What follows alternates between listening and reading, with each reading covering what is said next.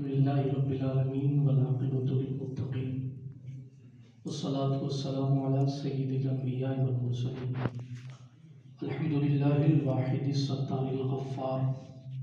वस्सलातु वस्सलामु अला अबर्रिल अबरार। व अला आलिहिल अतहार व अस्हाबिहिल अखयार। मिन यौमिना इला यौमिल करार, अम्मा बाद बिस्मिल्लाहिर्रहमानिर्रहीम। वत्तबि' सबीला मन अनाबा अज़ीम। सदक़ रसूलुहुन नबियुल अमीनुल मतीनुल उम्मीयुल करीमुर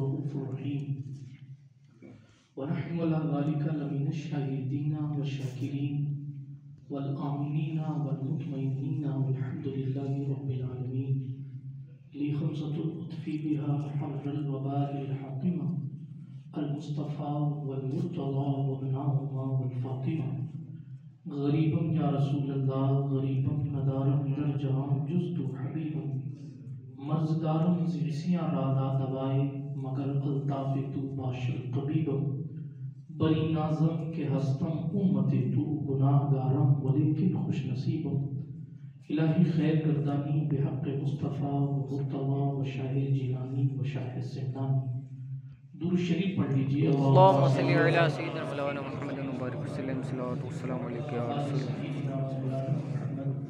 सलातन तुनजीना बिहा मिन जमीइल अहवाल वल आफात व तक़दी लना बिहा जमीअल हाजात व तुताहिरना बिहा मिन जमीइल सय्यिआत व तरफ़उना बिहा इन्नका अला दरजात व तुबल्लिगुना बिहा सलहायात मिन जमीइल खैरात फिल हयात व बअद अल ममात।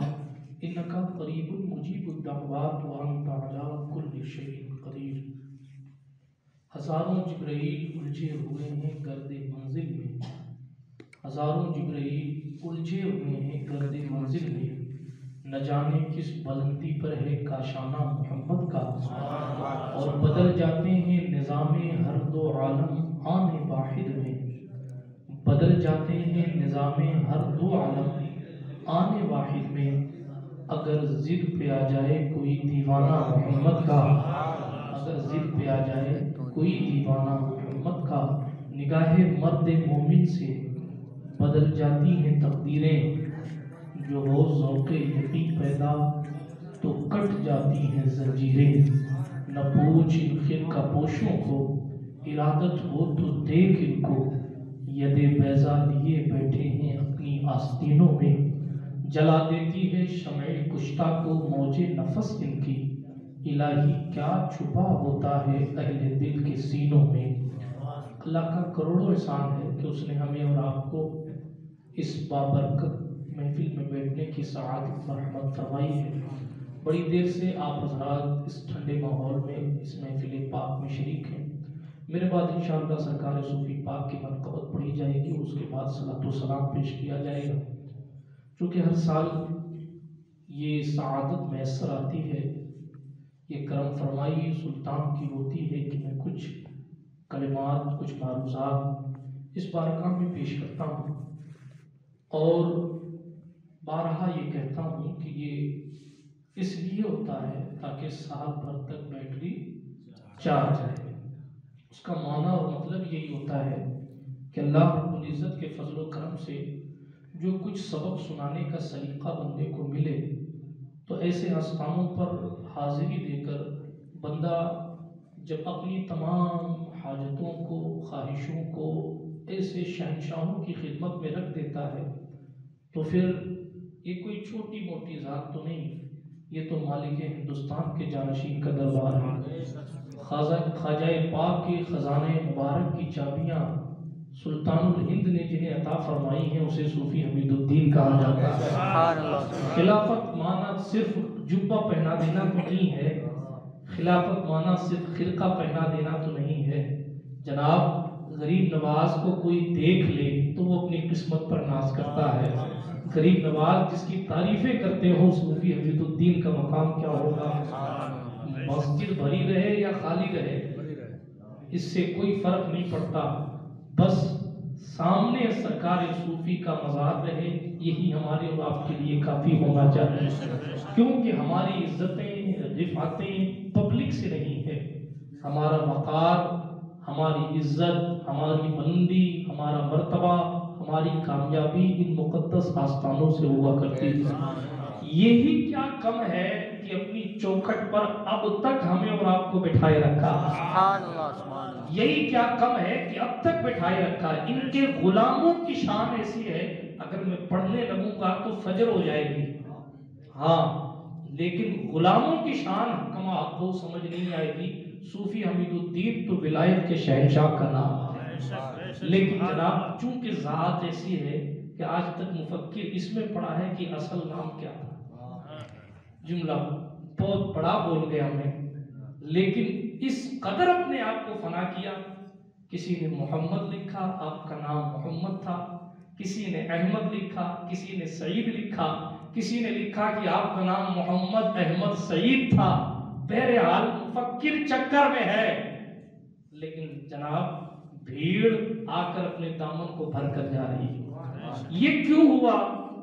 जब गुलाम इतने फ़ेमस हो गए तो आका क्यों नहीं? तो ये तो जनाब गरीब नवाज़ की ज़ुबान से निकला है। तर्क करने वाले बहुत हैं, मगर तू तारिकीन का सुल्तान तो तारिकीन का सुल्तान एक होता है नेक होना, एक होता है वली होना, एक होता है वली गर होना, एक होता है खुद अल्लाह वाला होना, एक होता है निगाहें डालकर अल्लाह वाला बना देना। सूफी अमीदुद्दीन नागौरी जात का नाम है। एक नॉन मुस्लिम गैर मुस्लिम बैठा रहता था और सूफी साहब फरमाते थे, ये अल्लाह वाला है। ये वली है। लोग कहते हैं, यार बाबा को क्या हुआ? ये कलमा ही नहीं पढ़ता और इसको वली कहते हैं। मगर जनाब, मौलाना रूम ने कहा, गुफ्ते गुफ्ते अल्लाह हुवत, गर्ज अज हुल्कू में अब्दुल्लाह हुवत गला अगरचे अल्लाह के बंदे का हो, मगर उनकी जबान से जो निकला है वो खुदा का फरमान है। वो बजाहिर तो हिंदू था, मगर वक्त ऐसा भी आया कि लोगों ने उसे विलायत की मंजिलों पर देखा। ये वो लोग हैं जो कहते सो हो जाता है। सूफी हमीदुद्दीन नागौरी रज़ी अल्लाह तआला उस ज़िक्र आलिम दीन का नाम है जनाब इल्म तसव्वुफ में जिसकी खैरात सुल्तानुल मशाइख हज़रत सैयद मोहम्मद अहमद निजामुद्दीन महबूब इलाही उठाया करते हैं। महबूब इलाही अच्छा ये आपकी तिवालत उम्र है कि हुजूर गरीब नवाज़ के दौर का इतने बड़े लेवल का कोई वली इतनी लंबी ज़िंदगी जाहिरी नहीं जी कर गया ये सरकार सूफी की ज़िंदगी है कि जिन्होंने गरीब नवाज़ को भी देखा है और महबूब इलाही के शुरू के दौर को भी देखा है। ये सरकार सूफी अमीरुद्दीन नागौरी अलैह की स्पेशल शान है। अल्लाह ने बड़ी बरकतें अता फरमाई। अच्छा महबूब इलाही की कोई मिसाल नहीं है। और महबूब इलाही जिसकी बारगाह में आकर फैज हासिल करता हो, सूफी हमीदुद्दीन का मकाम क्या होगा? महबूब इलाही का कोई की मकाम की कोई इंतहा नहीं। अरे महबूब इलाही के खुसरो के मकाम का पता नहीं चल पाया। तो जनाब, सरकार निजामुद्दीन महबूब इलाही के मकाम और महबूब इलाही के खुसरो तो ऊँचे हैं। महबूब इलाही के खलीफा सिराजुद्दीन अखी सिराज। उनके खलीफा अलाउल हक गंजे नवाज़। उनके मुरीद खलीफा है सुल्तान गौसुल आलम, तारिक सल्तनत कुतबतुल कुबरा, महबूब यजदानी मीर कबीर सुल्तान, सैयद अवहदुद्दीन, सैयद मखदूम अशरफ जहांगीर सवरानी जनाब, मखदूम किछोछा की शान यह है कि नज़र बिल्ली पर डालते हैं तो वो मेहमान नवाजी करने लगती है। जब गुलामों के गुलामों के, गुलामों की नज़र से बिल्लियों की ज़िंदगी बदल जाती है तो फिर हम तो बड़े खुश नसीब कि आकाओं के आका की चौखट पर बैठे। सरकार महबूब इलाही कौन? अमीर खुसरू, बहुत बड़े शायर हैं, शायरी करने तशरीफ़ ले जाया करते थे। एक मरतबा बादशाह के साथ किसी महाज पर ये मुशायरे में चले गए। इधर महबूब इलाही का दरबार है, चूँकि सैयद ज़्यादा है, खुद भूखा रहता है, लोगों को खिलाता है। तारीख में ऐसे भी वाकयात मौजूद हैं कि महबूब इलाही के सामने खाना रखा गया एवं थोड़ी कोई महबूब इलाही बन जाता है। खाना रखा गया तो कहा इस वक्त दिल्ली में लोग भूख की वजह से परेशान है। हुजूर की उम्मत भूखी रहे और निजामुद्दीन खा ले, ये मेरा ज़मीर गवारा नहीं करता। अपने सामने का खाना उठवा के फकीरों को तकसीम करवा देते ये महबूब इलाही हैं। यूँ ही महबूब इलाही नहीं हुए हैं। अल्लाह अकबर कबीरा, मैं उनकी इबादत और रियाजात पर नहीं जाता। आप अंदाज़ा लगाएँ, अमीर खुसरू तशरीफ़ ला रहे हैं। और इधर हज़रत महबूब इलाही के दरबार में एक साहब को अपनी बेटी की शादी करनी है तो वो कुछ हासिल करने के लिए, नजराना लेने के लिए महबूब इलाही की चौखट पर पहुँचे और कहा, हुजूर, कुछ दे दीजिए। ना तो कह नहीं सकते थे, लेकिन उस वक्त इत्तेफाक से खानका में कुछ था नहीं। आज तो इतना है, इल्ला माशा सब पीरों की बात नहीं करता, मगर अक्सरों का मामला ये इतना है कि उन्हें खुद नहीं पता कि कितना है। मगर वो महबूब इलाही का दरबार है और वो उनके पास है ही कुछ नहीं। सदका कर देना ये अल्लाह वालों की शान। मेरे आका नेमत हुजूर गौस आज़म इरशाद फरमाते हैं अल्लाह रब्बुल इज़्ज़त अगर मुझे एक हज़ार सोने के सिक्के सुबह दे तो मैं शाम तक सारे फकीरों पे लुटा दूँगा। ये कुरान में जनाब कमाने का ज़िक्र तो है जमा करने वाला कहाँ है मैं मुझे आज तक तो नहीं मिला। बहरहाल अर्ज़ ये कर रहा था कि सरकार महबूब इलाही की चौखट पर बंदा हाजिर हुआ, बेटी की शादी करनी है, नज़र करम फरमाए। हज़रत महबूब इलाही ने मना तो नहीं फरमाया, मगर खानका में था, कुछ नहीं। कहा, आज आराम फरमाइए, इंशाल्लाह कल मैं आपको नज़र पेश करूँगा। एक दिन गुजरा, दो दिन गुजरा, तीसरा दिन आ गया। खुदा की शान, कोई नजराने लेकर भी नहीं आता कि हज़रत ने दे दे। आखिरकार मालूम क्या हुआ? खाली लौटाना तो जनाबे वाला शान नहीं है। उन्होंने अपने जूते दे दिए। क्या दिया? जूते दे दिए। आपको सर्दी तो नहीं लगेगी ज़्यादा? हाँ तो फिर बोलते रहे मेरे साथ क्या दिया? हाँ अपने नालैन शरीफैन दे दिए। जूते दे दिए। और कहा मेरे पास तो फ़िलहाल कुछ नहीं है ये ले जाओ। अच्छा उस बंदे ने भी सोचा यार आया था कुछ माल मनाल लेने के लिए। इन्होंने अपने पुराने जूते दे के कहा जाओ। अब इस जूतों को मैं क्या करूँगा? मगर क्योंकि महबूब इलाही ने कहा था ले जाओ रोशन जमीर महबूब इलाही। तो जनाब कुछ कह नहीं सकते, लेकिन वो तो दिलों के हालात को जानने वाला पीर है ना। वो महबूब इलाही, आला हज़रत ने अपने मलफूज में किस्सा नकल किया है। कलंदर महबूब इलाही की चौखट पे आया और महबूब इलाही की बारगाह में कलंदर हाजिर हुआ। तो महबूब इलाही के गुलामों ने, उन खानका के जिम्मेदारों ने उसके सामने खाना रखा। तो वो कोई पता नहीं किस आसमान की बातें कर रहा था। उसने कहा, ये खाना अच्छा नहीं है। खाना उठा के फेंक दिया। फिर जनाब, थोड़ी देर बाद ये हुआ कि वो दूसरा खाना गया जब दूसरा खाना लाया गया तो उसने फिर कहा कि ये खाना अच्छा नहीं है, वो खाना भी फेंक दिया। फिर कलंदर के लिए तीसरा खाना लाया गया। उसको भी देखकर कहा, ये खाना अच्छा नहीं है। उसको भी फिटवा दिया गया। महबूब इलाही ने फिर कहो कलंदर को कहो, मेरे पास आए।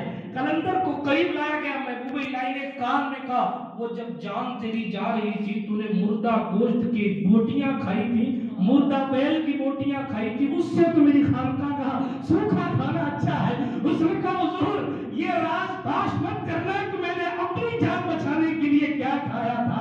बहरहाल आप अभी जो कुछ खिलाए, में खाने तैयार। ये महबूब इलाही है। जनाब, कोई छोटी मोटी जात का नाम निजामुद्दीन नहीं है। कुदरत ने बड़ी बुलंदी उन्हें अता फरमाई, ये महबूब इलाही तो रोशन ज़मीन पर ये किस्सा याद आ गया। सरकार महबूब इलाही की खान, की खानका से वो पलटे। जब पलटे तो माजरा ये हुआ, अल्लाह ये ये हुआ कि जूता कौन लेगा कौन लेगा? करते हुए जंगल में चले रास्ते में सफ़र कर रहे हैं। एक जगह लेट गए आराम करने के लिए। वो जूता जो वो झोले के अंदर पैक कर रखा, थैली में। थैली में पैक करके जनाब अपने सर के नीचे रख दिया। थैली में पैक करके अपने सर के नीचे इन्होंने रखा उधर से महबूब इलाही की आमद हो रही उधर से महबूब इलाही तशरीफ़ ला रही हज़रत सरकार महबूब इलाही रहमतुल्लाह उधर से अमीर खुसरू तशरीफ़ ला रहे सरकार महबूब इलाही के गुलाम तशरीफ़ ला रहे तो हालत ये हुई कि उन्होंने सोचा कि मुझे अपने पीर की खुशबू कहाँ से आ रही पीर की खुशबू कहाँ से आई रिवायतों में यहाँ तक लिखा है कि वो सूंघते सूंघते सूंघते वहाँ तक करीब पहुँच गए। और कहने लगे, क्या तुम दिल्ली जाके आए हो? तो कहा हाँ जाके तो आए हो। क्या तुम सरकार महबूब इलाही से मिल के आए हो? कहाँ मुलाकात तो करके आया हो? का ऐसा क्या है कि तुम में उनकी बू आ रही है? तो कहने लगे कि मेरे पास उनकी जूतियाँ हैं। ऐसी ऐसी बात थी और मैं गया था कुछ नज़रों नियाज देने के लिए तो उन्होंने मुझे अपनी जूतियाँ दी थी उस वक्त चीतल एक किस्म का की करेंसी हुआ करती थी। सात लाख चीतल उस वक्त हज़रत सरकार अमीर खुसरू ने उन जूतियों के सात लाख रुपए दिए। और सात लाख रुपए देकर कहा कि और ज़्यादा ज़रूरत पड़े तो मुझसे फिर मिल लेना, इंशाल्लाह जो दौलत कहीं भी मेरे पास रखी होगी, मैं वो भी दे दूँगा। और फिर जनाब अपने मुर्शिद की जूतियों को अपने सर पे रखा। हज़रत सरकार महबूब इलाही के दरबार में इस शान से हासिल हुए कि पीर की जूतियाँ सर के ऊपर रखी हुई हैं। महबूब इलाही ने मोहब्बत से फरमाया, अरे खुसरू, कितने में खरीद ली? कहा हुजूर सात लाख चीतल में खरीदी कहा खुसरू कोई सस्ती तो नहीं खरीद तूने? अल्लाह अकबर कबीरा, ये सरकार महबूब इलाही है। ये अमीर खुसरू तो कद्र वाले जानते ना कि मामला क्या है? इतनी बड़ी शान का मालिक महबूब इलाही। खुद फरमाते हैं कि इल्म तसव्वुफ में सिलसिला चिश्त पर, सिलसिला चिश्त में इल्म तसव्वुफ पर अगर किताब लिखने वाली सबसे पहली कोई जात है तो वो जात हमीदुद्दीन नागौरी की जात बड़े बड़े वलियों के शहनशाह यहाँ आकर सरगु होते हैं अदब से। ये दरबार सूफी हमीदुद्दीन नागौरी का दरबार है। ये तर्क तजरीद के सुल्तान का दरबार है जिसने सिर्फ़ खुद को नहीं बदला बल्कि जनाब इतना बदला इतना बदला कि उमूमी तौर पर मुआशरे में यह होता है कि बंदा बीवी को बदलने में खुद बदल जाता है। क्यों माना मुबारक साहब? सही है कि गलत है? तो उमूमी तौर पर ऐसा होता है। ऐसा नहीं कि इनके साथ ऐसा हुआ है। मैं इसे तस्दीक कराऊं क्योंकि ये आलिम दीन है। तो अब ये कर रहा था बाकी एक्सपीरियंस कईयों को होगा। लेकिन सुने खुदा ने क्या तासीर दी थी जबान से जबान में? कि अपनी अहलिया को वो फ़िक्र और वो ख्याल अता किए अल्लाह पर कि जनाब सात दिन में एक मरतबा अपने वक्त की राबिया मखदूमा खदीजा रहमतुल्लाह ताला अलैहा जो आपके पहलू में आराम कर रही है। हाँ सात दिन में एक बार सब्ज़ी खाती थी। सात दिन में एक बार सब्ज़ी से इफ्तार होता था। ये तर्क तजरीद है। ये अल्लाह के लिए सब कुछ छोड़ देना है। बादशाहों के लोग यहाँ ले के खड़े कि कुछ कबूल कर लीजिए, ज़मीन ले लीजिए, नजराने ले लीजिए। मगर जनाब, सब पर पाबंदी है कि नहीं, हमें कुछ नहीं लेना आपको मालूम है, जो लोग आमिलीन होते हैं, उनके लिए शर्त होती है कि वो उनको यकसुई उसी वक्त हासिल होगी जिस वक्त वो माल मुस्लिम का इस्तेमाल करें। माल गैर का इस्तेमाल अगर खाने पीने में करेंगे तो उनके अमल अमलियात में मामला डगमग हो जाता है। ठीक है, ये भी अपने आप में बहुत बड़ा तकवा है। एक तो ये होता है कि अपनी कौम का, के घर से खाना। एक ये होता है कि अपने घर के सिवा खाना और खाना तो खाना। हज़रत मखदूमा खदीजा की शान ये थी कि वो कपड़ा भी जो पहनती थी, वो अपने हाथ से सिया पहनती हज़रत सूफी हमीदुद्दीन नागौरी को जो जुब्बा पहनाती थी वो अपने हाथ से सीख के पहनाती सुभान अल्लाह सुभान अल्लाह अल्लाह ने इतना उन्हें वकार का फरमाया। मेरे हाल बातें तो बहुत सारी की जा सकती हैं मगर ये हमारी और आपकी खुशबख्ती है। सब कुछ छोड़कर सब कुछ छोड़कर रजाई इलाही के लिए सारी ज़िंदगी गुजारते रहे तो सूफी साहब अली रहमत रिजवान को वैसे भी सादगी बड़ी पसंद थी।